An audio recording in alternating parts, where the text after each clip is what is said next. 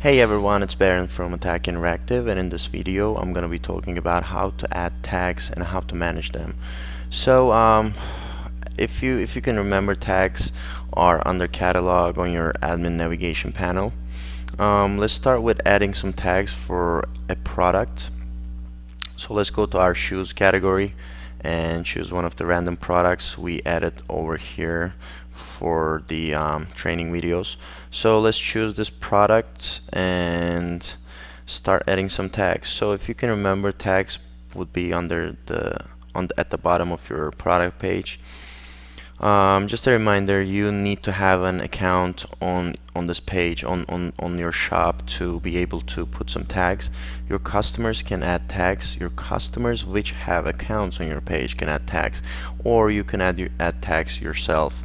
So um, as we can see, um, this is an example product, so we have different images. But um, let's assume this is the original product over here. Let's say um, sofa um, white um, metal. Um, and let's add two words um, high quality. Alright so add tags. Once again if we didn't have an account it would just take us to the create a new account page. Um, okay we added two tags. Two tags have been accepted for moderation and two tags have been approved right away. So what this means is um, you can create tags so that you don't have to approve them. In this example we have high quality and sofa has already been approved before so that anyone who types sofa or high quality the tag is going to be approved automatically. But we have two more tags to review. So let's go back to our admin panel and go to our tags and check pending tags. So right here it is gonna bring up okay metal and white it's pending. So it's the same layout as the reviews part. You can just select all and then choose an action which is gonna be change status and then from pending to approved. Alright let's submit it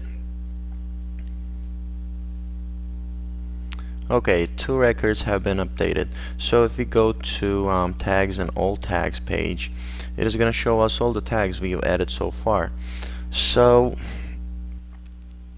coming back to the ones that was approved automatically. So if you want a tag to be approved automatically, you can just go here and say add a new tag. Okay, so um, let's assume I want the music tag to be approved every time, every single time someone just uses it in under a product. So I will just write music here and then choose the status as approved and then save the tag.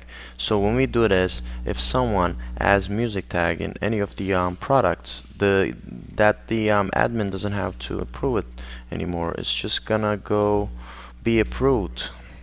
Okay so um, why do we use tags? If you go to the tag page you're gonna see we have um, numbers next to the tags. So this means if if if there's another product and someone tags it um, with white this is it is gonna show up here. It's gonna say 2 here. And then when we click on the product click on the tag it's gonna bring us the product. So this way your customers is are gonna they're gonna have like a wide range of options from the tags. So they can just uh, decide to click on high quality and then it's gonna bring I'm sorry it's gonna bring products that um, is tagged with high quality. So some some pages have these um, tags placed on their main page. So our theme doesn't support that. We don't have that over here but it could have been tags could have been here like top 10 tags could have been here and people would have more options to click and then to um, search in your page this concludes our video over tags. Once again it's Baron from ATAK Interactive and thank you for watching this video